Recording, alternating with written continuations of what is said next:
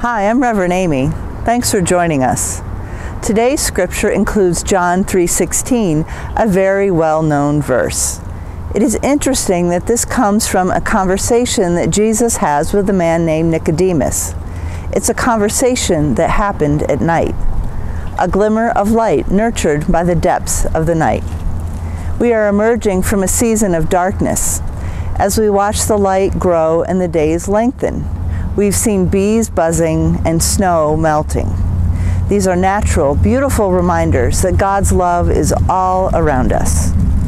So let's take a deep breath, center ourselves, and prepare to worship God together.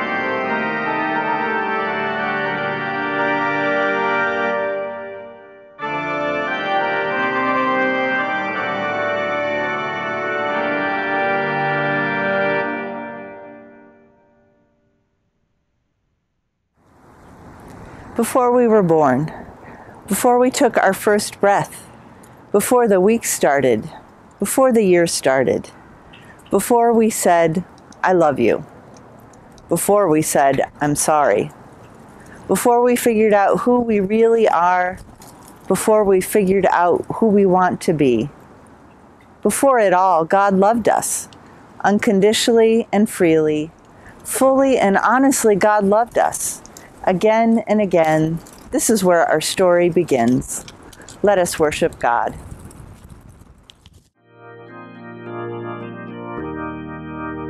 Jesus, Savior, Lord, Lord, to thee I fly. Saranam, saranam, saranam.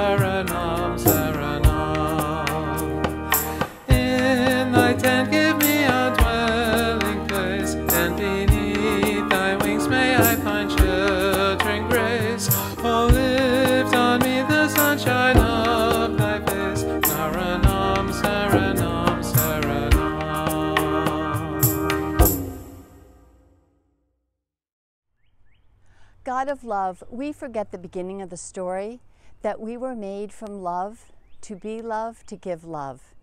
Instead of rooting our narrative in the goodness refrain of creation, we skip ahead and find our worth at the fall, with Cain and Abel lost in the wilderness. We forget that first there was you, and you are love. We forget that out of that love you created us. We forget that from the very first day you loved first. We forget because a love like that doesn't make sense to us. Forgive our low self esteem. Forgive our resistance to love ourselves. Forgive our hesitation to trust that even we could be made good. And forgive our tendency to pass that doubt on from generation to generation. Write a new beginning for us that roots our confidence in your unrelenting love. With hope, we pray again and again. Amen. Hear these words of assurance.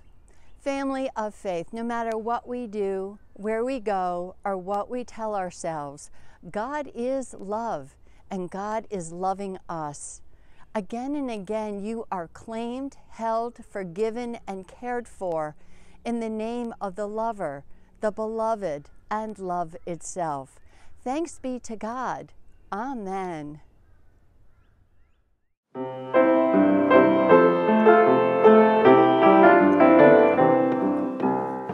Welcome. I'm so glad to see you today, and I'm so glad you could join me and Lacey for the fourth week of Lent and the week of St. Patrick's Day. This week, I have been thinking about love. There are so many examples of love, like maybe your mom packing your lunch or your dad reading you a book before you go to bed. Oh, there's so many uh, uh, examples. This week, I thought I would tell you about the love of a special dog named Sadie from New Jersey. And Lacey came here to help me tell this story because, like Sadie, Lacey is a rescue dog who was abandoned and later found her forever home with our family. Let me tell you a little bit about Sadie. Thanks to the Bergen Ramapo Animal Refuge Facebook page, we can see a picture of Sadie. She's a six year old German Shepherd who sadly was abandoned by her original family who could no longer care for her. And because Sadie was a what they called aggressive, she was moved from animal shelter to animal shelter looking for a forever home. Luckily, last October, Sadie was adopted. Thanks to Brian Myers of Teaneck, New Jersey, who read about Sadie, he decided to give her a chance. What had been happening was when Sadie would meet a potential new owner, she got very aggressive. She would build herself up to the biggest she could and snarl and growl and act aggressive towards them. But when Mr. Myers went to visit her, within minutes they were playing fetch. And in fact, it was love at first sight. That day, Mr. Myers took Sadie home. And what's funny is, on the way home, he stopped to get her some treats and a big bag of dog food and her very own bed. But when he got home, guess where Sadie decided to sleep? Right in bed with him. Well, it turns out that was a good thing because this February, Mr. Meyer got very sick. And in the middle of the night, he had a stroke, which means his body was not acting the way he, in a way he could control. And he fell to the floor. And he was far away from his telephone. He couldn't call for help. He lived alone with Sadie, and clearly she doesn't use the telephone. Can you use the telephone, Lacey? Do you know how to dial 911? Well, neither did Sadie. So, thankfully, Sadie got very nervous and ran over to Brian and tried to nudge him around, along. Eventually, he realized by holding onto her collar, she was so strong that she could pull him around, and eventually, she pulled him close enough to his phone that he could reach it and call 911. She saved his life. When they reunited three weeks later, they were both ecstatic. Sadie used her strength to help her owner, and now they have been reunited at home again in New Jersey. If you Google Sadie and Brian Myers, you will find dozens of articles about him. They've been on TV, they've been in newspapers all across the country because their love story was so important. Can you imagine how strong God's love is? Could you imagine? We did nothing to earn God's love, and it's there all the time. If Sadie and Brian can love each other this much, can you imagine what God's love can do for us? It's kind of exciting, isn't it? Let's pray. Dear God, thank you for loving me from the very beginning. Help me start with love in everything I do and say. In Jesus' name we pray. Amen. Before I leave you today, I want to read you um, the St. Patrick's breastplate prayer. That's a really special prayer that you can use this week and all times when you need a little help. Christ be with me, Christ within me, Christ behind me, Christ before me, Christ beside me, Christ to win me, Christ to comfort me and restore me.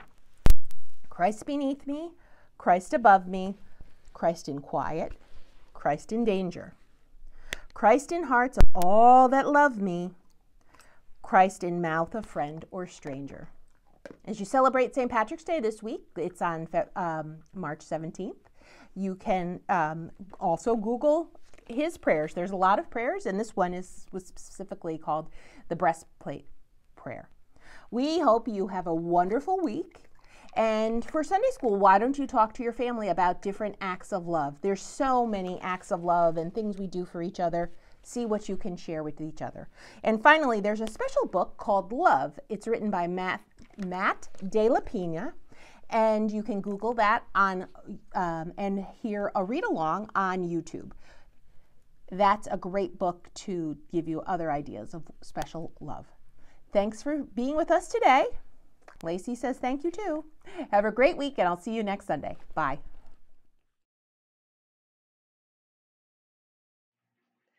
Today's Gospel reading is from the book of John, chapter 3, verses 14 through 21. Listen now for word and wisdom. And just as Moses lifted up the serpent in the wilderness, so must the Son of Man be lifted up, that whoever believes in him may have eternal life. For God so loved the world that he gave his only Son, so that everyone who believes in him may not perish but may have eternal life. Indeed, God did not send the Son into the world to condemn the world, but in order that the world might be saved through him. Those who believe in him are not condemned, but those who do not believe are condemned already, because they have not believed in the name of the only Son of God. And this is the judgment that the light has come into the world and people love darkness rather than the light because their deeds were evil. For all who do evil hate the light and do not come to the light, so that their deeds may not be exposed. But those who do what is true come to the light, so that it may be clearly seen that their deeds have been done in God. Words to bring God nearer, for the Word of God in Jesus for God's wisdom all around us, for God's word and wisdom in us. Thanks be to God.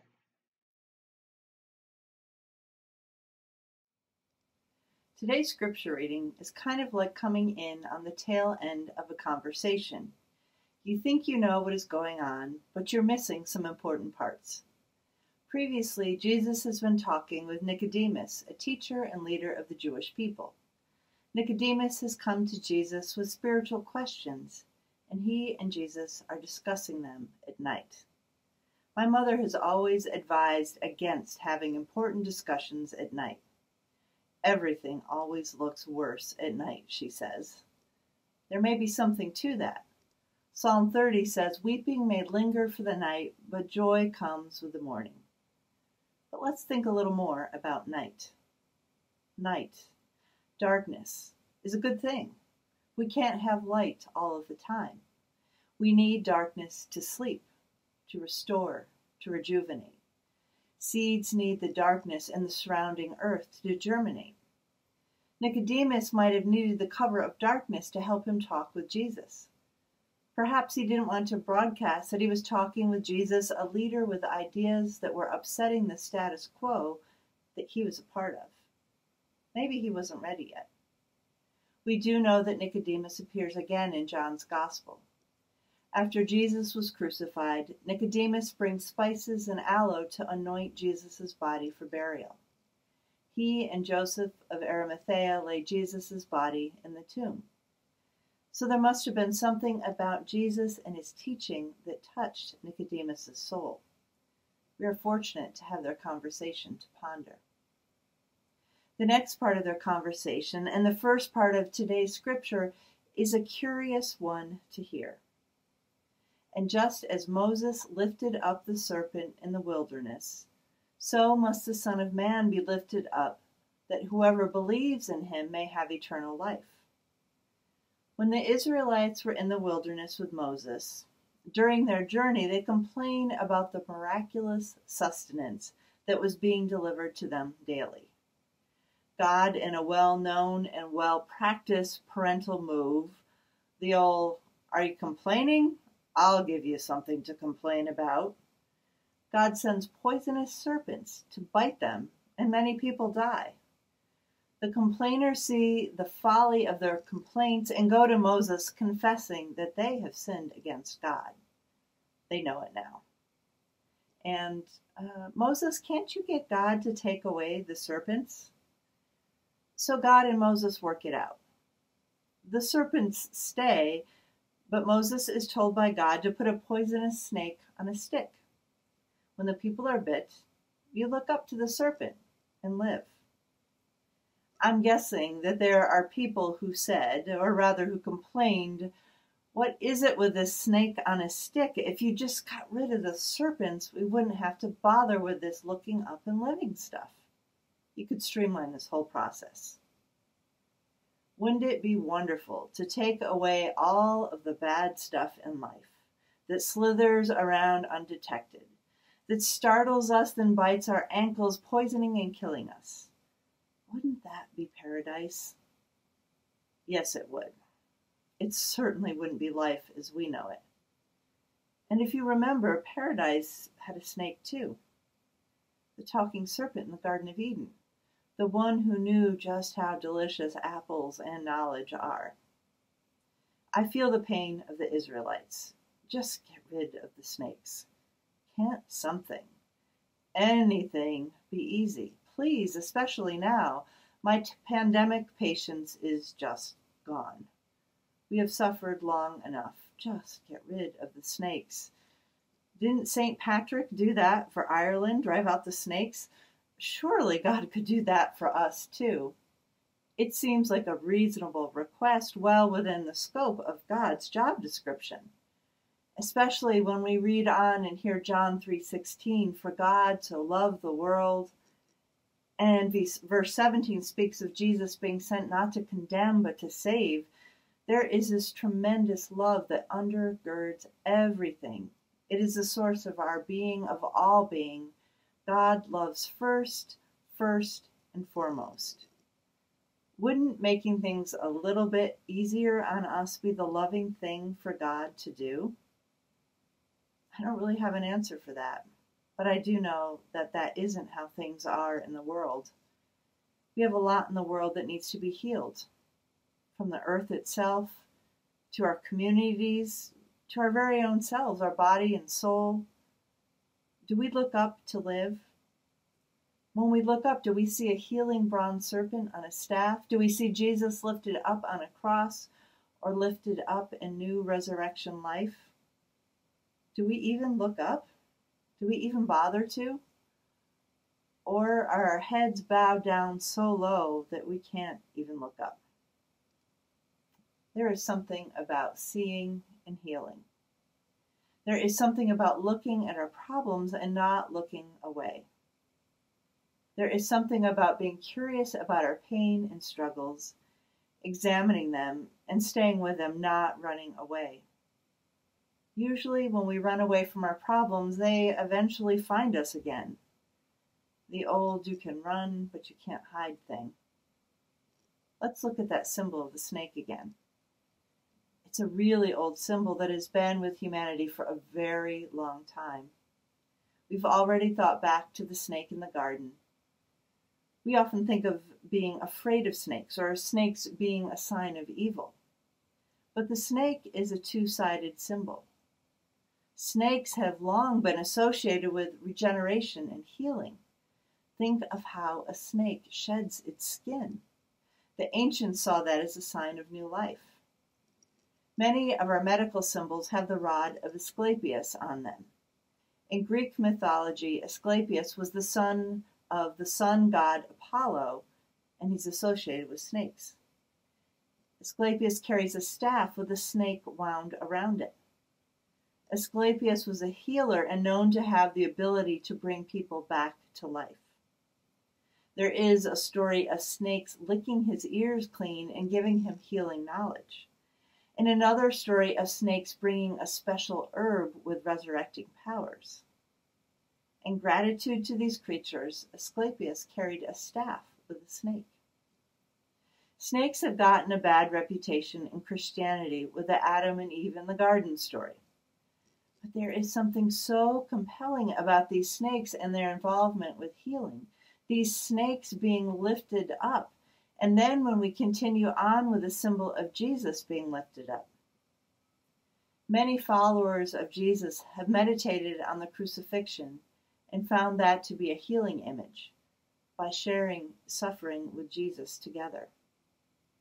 Is there something about taking the parts of us that are animalistic, that slither on the ground unnoticed? Is there something about lifting them up and acknowledging them that's healing?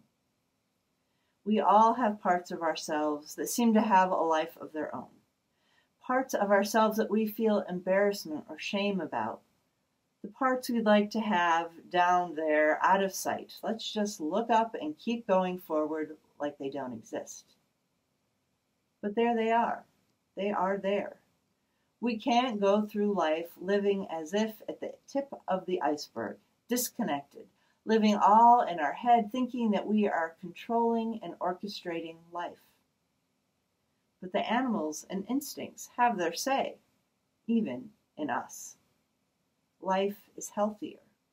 We are healthier if we can acknowledge what is going on. If we don't, we're going to step on a nest of snakes and get bit, bit and sick from the venom. But if we look at those impulses and desires, those temptations, even, we have a better chance of being able to decide how we want to react instead of them reacting through us. It's easier to, to decide what to do with a snake up on a stick than one unseen in the grass. Richard Rohr is a gifted Franciscan friar and writer who lives in New Mexico. He writes Jesus' suffering on the cross was a correct diagnosis and revelation of the human dilemma. It was an invitation to enter into solidarity with the pain of the world and our own pain, instead of always resisting it, avoiding it, or denying it. Lady Julian of Norwich, my favorite Christian mystic, understood it so well, and she taught, in effect, that there is only one suffering, and we all share in it. there is vulnerability in being seen. There is vulnerability in living in a body and being alive, and at some point we all suffer. But we suffer together. We can try to be open to the sufferings of our siblings on this earth. By doing so, we share in the suffering of Jesus, the earth, and indeed of God. We enter into this communal experience of true life lived together. When we do that, we are held together by God's love and light. Darkness and night are part of this love and light. We can't be separated from it. And why would we want to be? It is part of the whole, and God is in it too. Psalm 139 tells us that even the darkness is not dark to you, O God. The night is as bright as the day, for darkness is as light to you. The darkness is a fertile place. Let us not be afraid of it. Out of this place springs our healing, springs our wholeness. May we have the courage to look, look down, look up, to look at each other, to look to each other. May we have the courage not only to believe, but to act and live life out of God's love that was there first. One of the passages in the Bible that resonated with the enslaved Africans and their descendants in North America was the painful experience of the exile. The Jewish people were forced to live in a far off land. They wondered what they had done to deserve this misery. In the eighth chapter of the book of Jeremiah, the prophet asks, Is there no balm in Gilead? Is there no physician here? Why then has the health of my poor people not been restored? There is a balm in Gilead is a treasured hymn, a treasured spiritual born out of the brutal experience of slavery. The refrain of the spiritual offers encouragement and dares to respond with hope in the face of hopelessness, showing courage in the face of despair. African American theologian Howard Thurman discusses the refrain of the spiritual. The slave caught the mood of the spiritual dilemma and with it did an amazing thing. He straightened the question mark in Jeremiah's sentence into an exclamation point. There is a balm in Gilead. Here is the note of creative triumph. When we live our lives out of God's love, that God loved first, we are called to live out of creative triumph. We can bend the question marks into exclamation points. We can find light in the darkness. We too can love because God loves first.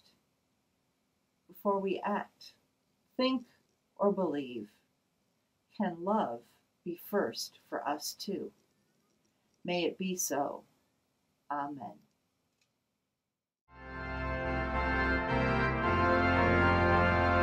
There is a balm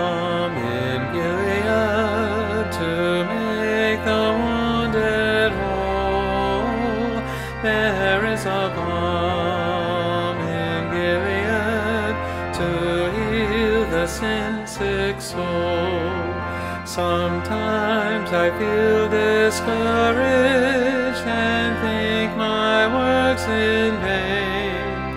But then the Holy Spirit revives my soul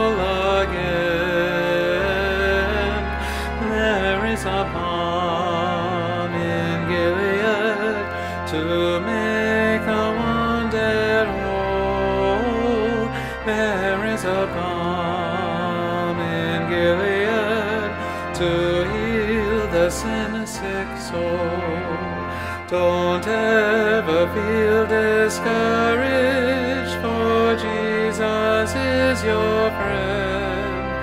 And if you look for knowledge, he'll never refuse to lend. There is a balm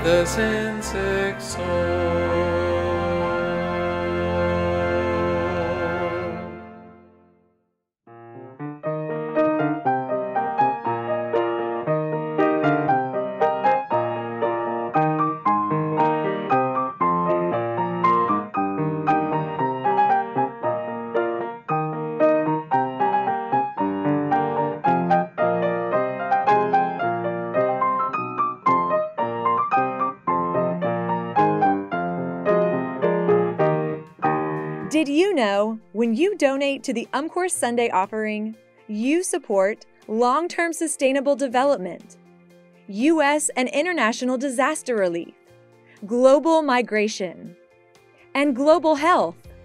As followers of Jesus Christ, we are called to respond with extravagant grace. Through the United Methodist Committee on Relief, we are able to make a difference in the lives of communities and individuals whose lives have been upset by storms, wars, fires, displacement, and climate change.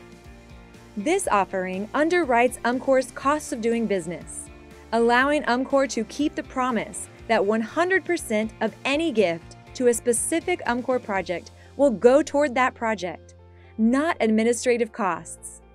UMCOR specializes in solutions that help people become self reliant.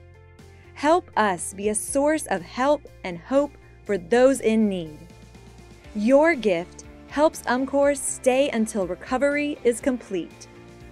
Give in person, by mail, or online at umc.org/ssgive.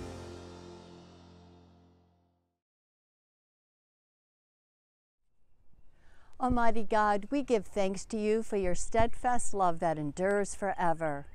With grateful hearts, we follow Jesus, your Son, whom by your immense and abiding love for us, you sent so that the world might be saved. We know that there is no pain that you have not felt, no grief or longing that we cannot share with you.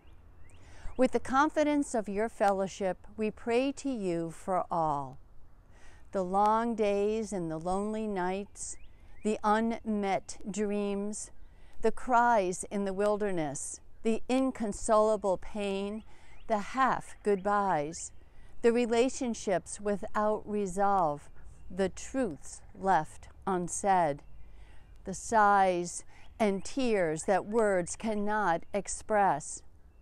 When we feel alone, God, remind us of your presence when we feel broken, God, remind us of all that you have made whole. Remind us, God, again and again, that you loved us first. And help us, God, to hold on with resolve and joyful hearts. Hear these and all our prayers this day. In Jesus' name, we continue to pray, praying the prayer that He taught us, saying, our Father, who art in heaven, hallowed be thy name. Thy kingdom come, thy will be done, on earth as it is in heaven. Give us this day our daily bread, and forgive us our trespasses as we forgive those who trespass against us. And lead us not into temptation, but deliver us from evil. For thine is the kingdom, and the power, and the glory forever. Amen.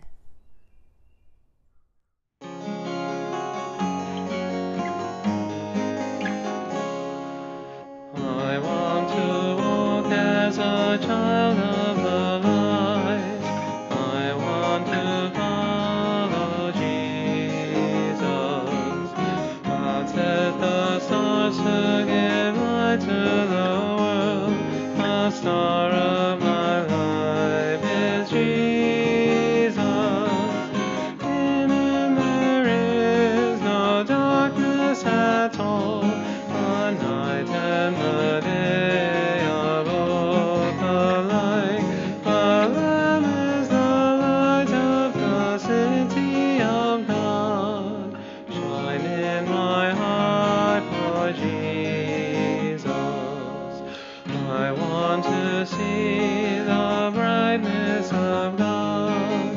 I want to look at Jesus, clear Son of righteousness, shine on my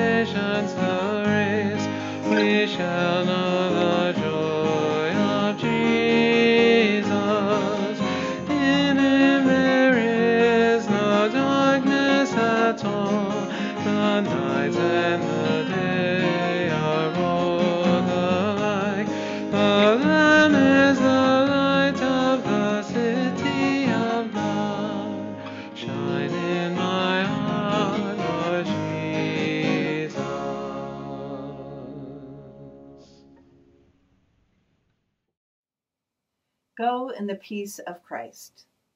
Look upon yourself and the world with the eyes of compassion, with the eyes of God who so loves the world, who so loves you. Before we act, think, or believe, let us love first, just as we are loved by the one who holds us in the palm of his hand. Go in peace. Amen. May the road rise to meet always at your back. May the sun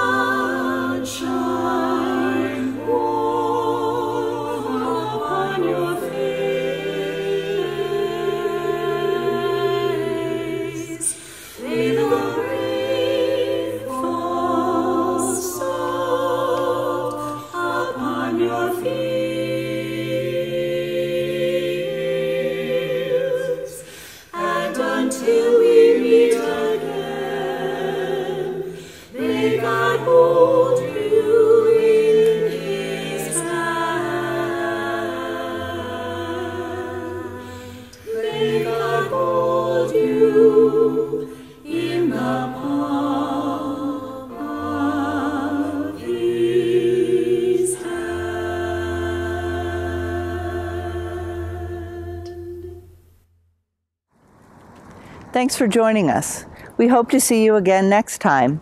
Until then, may we notice all of the reminders of God's hope all around us. Out of darkness comes light. At one point during the winter, I wondered if this giant pile of snow would be with us until August. We are making progress. Yes, we are in many ways. Keep up the good work and keep looking for signs of hope. See you here next week.